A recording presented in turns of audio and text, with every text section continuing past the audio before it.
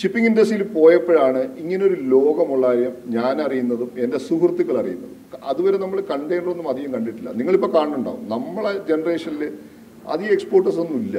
അപ്പം നമ്മൾ കണ്ടെയ്നർ കാണുന്നത് തൂത്തുക്കുടി പോയപ്പോഴാണ്.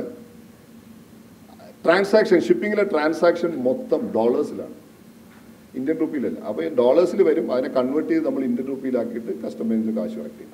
അപ്പോൾ ഡോളേഴ്സ് കറൻസി കൺവേർഷൻ പെട്ടെന്ന് ഇറ്റലി അല്ലെങ്കിൽ ഫ്രാൻസ് നമ്മളെ സ്വന്തം നാടായി മാറുന്നത് എന്ന് വെച്ചാൽ നമ്മളെ ഷിപ്മെന്റൊക്കെ ഇവിടുന്ന് കയറ്റി അയക്കുന്നത് അങ്ങോട്ടേക്കൊക്കെയാണ് അപ്പം നിങ്ങൾ as a human being shipping industry എന്ന് പറയുന്ന ഫീൽഡിൽ നിങ്ങൾ ബിസിനസ് ചെയ്താലും വർക്ക് ചെയ്താലും പെട്ടെന്ന് നിങ്ങൾ ഹോൾ വേൾഡുമായിട്ടൊരു കണക്ഷൻ വരും. എന്ന് വെച്ചാൽ നിങ്ങൾ കൊച്ചിയിൽ നിന്ന് അല്ലെങ്കിൽ കൊളംബോയിൽ നിന്ന് ലോഡ് ചെയ്യുന്ന ഒരു സാധനം പോകുന്നത് ന്യൂയോർക്കിലായിരിക്കും.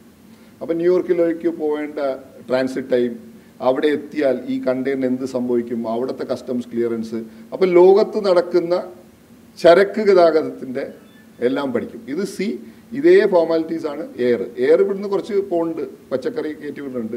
വളരെ കുറച്ചേ ഉള്ളൂ. ഇതൊന്നുമല്ല. ഒരു നൂറ് ടണ്ണ് കയറ്റി വിടാൻ പറ്റുന്ന ഒള്ളി കാർഗോ കാരിയറായിട്ടുള്ള എയർ ക്രാഫ്റ്റ് വരും. അതിപ്പോൾ ബോംബെയിൽ വരുന്നുണ്ട് ഡൽഹിയിൽ വരുന്നുണ്ട് ബാംഗ്ലൂർ വരുന്നുണ്ട്.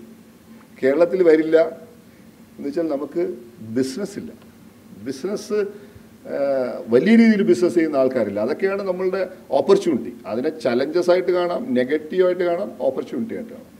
അപ്പോൾ ഓപ്റ്റിമിസ്റ്റിക് ആയിട്ടുള്ള ഒരാൾ അതിനെ ഓപ്പർച്യൂണിറ്റി ആയിട്ട് കണ്ടിട്ട് സർവീസ് ഇൻഡസ്ട്രിയിൽ നമുക്ക് എന്തും ചെയ്യാൻ പറ്റും.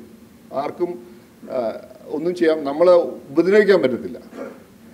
അപ്പോൾ ഈ ഷിപ്പിംഗ് ഇൻഡസ്ട്രി ഇപ്പോൾ വിഴിഞ്ഞത്തിന്റെ കുറേ പ്രോഗ്രാംസ് നടക്കുന്നുണ്ടെങ്കിലും കുറേ ആൾക്കാർ അറ്റൻഡ് ചെയ്യുന്നുണ്ടെങ്കിലും എന്താണ് ഷിപ്പിംഗ് ഇൻഡസ്ട്രി എന്നുള്ളത് എത്ര പേർക്ക് അറിയാമെന്നുള്ളത് എനിക്ക് ഡൗട്ടുണ്ട്